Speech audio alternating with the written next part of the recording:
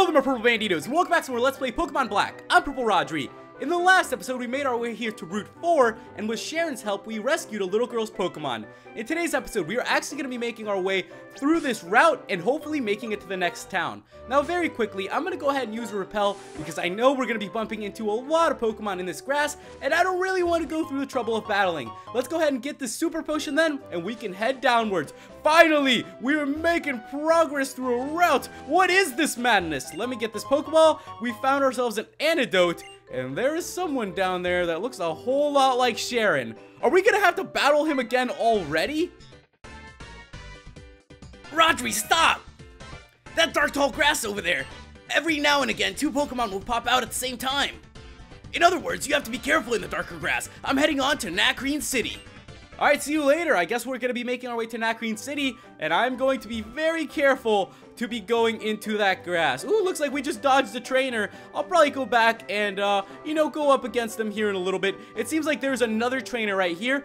But there's actually something special that we are going to be doing today. We are going to be adding our first team member. It's going to be right here in the grass, so I'm going to run around. And once I bump into it, I'm going to come right back. It'll be like two seconds.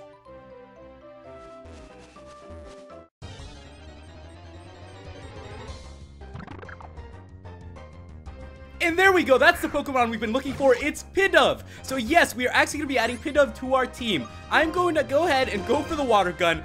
Hopefully I don't kill it. I am level 15, so hopefully this doesn't faint it. We got it down to the orange. Hopefully this does it. It's going to be going for the Gust. It's pretty cool that it's level 9. It isn't going to take a whole lot of training to get it caught up. Let's go for a Pokeball. Ooh, a heal ball. You know what? Let's go for the heal ball. Uh, why not? It's kind of cool that we got those from the little girl. So we might as well go ahead and use them. All right, I'm going for the AB trick in it. For some reason, I always do this, and it seems to work a lot of the time. And there we go. Gotcha. Pidove was caught. Welcome to the team. And yes, we are actually going to be giving Pidove a nickname. I'm very excited. It says Pidove, tiny pigeon Pokemon. Each follows its trainer's orders as best it can but they sometimes fail to understand complicated commands. So yes, let's go ahead and give this Pidove a nickname. And now this is actually going to be a name in Spanish. Uh, we are actually going to be naming this Pidove, you will see in a couple seconds, uh, after a Spanish word. So I'm going to go ahead and type it in very quickly. Some of you might be able to guess it if you know Spanish. If not, uh, then you might not. All right, so I'm going to go ahead and put it in. And we are going to name our Pidove flotar, which means float in Spanish. So there we go. Welcome to the team flotar. I am very excited to have you here. I'm looking forward to taking you along our journey. Let me go ahead and use one more repel. I don't know what's ahead, but I'm looking forward to it now that we actually have another team member. We found a great ball down here. Very cool. That is our first great ball. Pidove was actually very highly suggested by you guys, so it's going to be a great addition to our team, and I'm really looking forward to training it and taking it along our journey. It's going to be a great adventure, and I'm really, really excited for it. Okay, we made our way down here, and we found an awakening Tons of items on this route. I did not think there were going to be this many. There are also a lot of trainers, which I'll probably come back and train Pidove on uh, so we can get it caught up. It is January 9th, 2013. Hope you guys are having an awesome week. Uh, I know I am. It's going pretty great. First week of school, and it looks like Cheren is here trying to tell us something. Come with me a sec.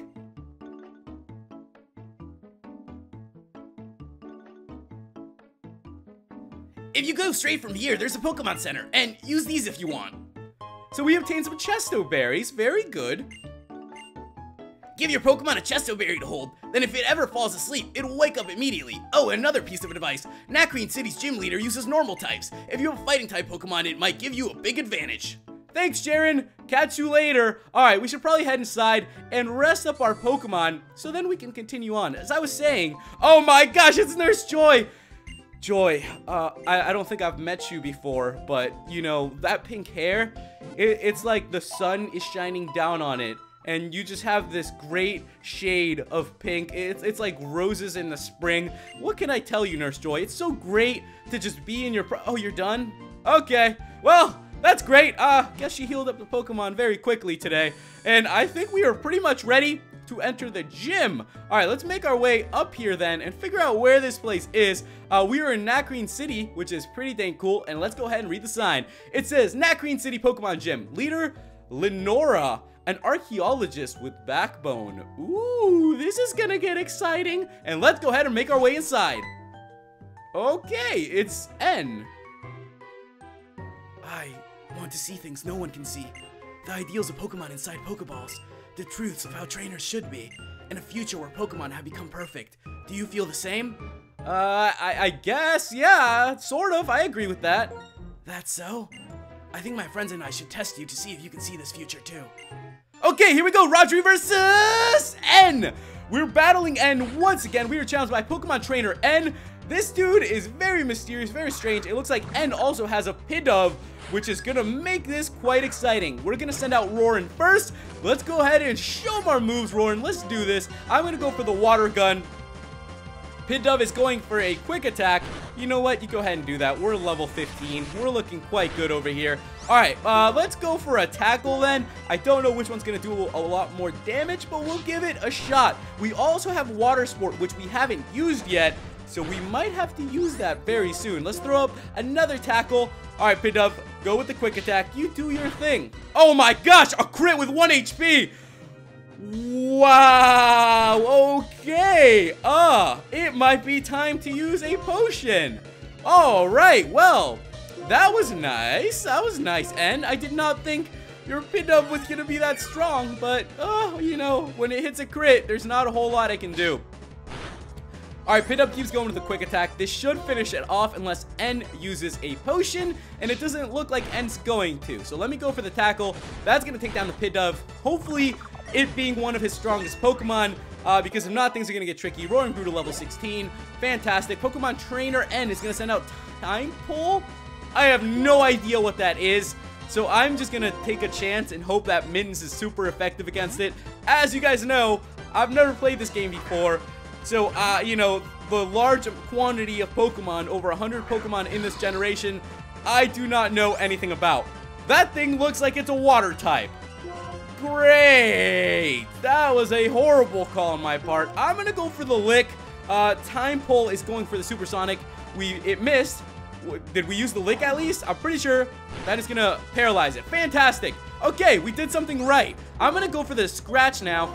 And you know what? We might be at a type disadvantage, I think.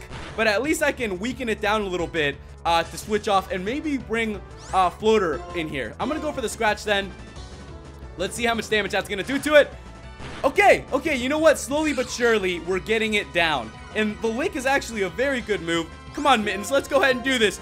Please, Mittens, hit a crit or something. We need that right now. Tympole is going for the Supersonic, which is just absolutely fantastic. You do what you have to do by all means. All right, I'm going to go for another Scratch. Let's go ahead and do this. Come on. Mittens, don't be confused now. Don't you dare be confused. What are you doing?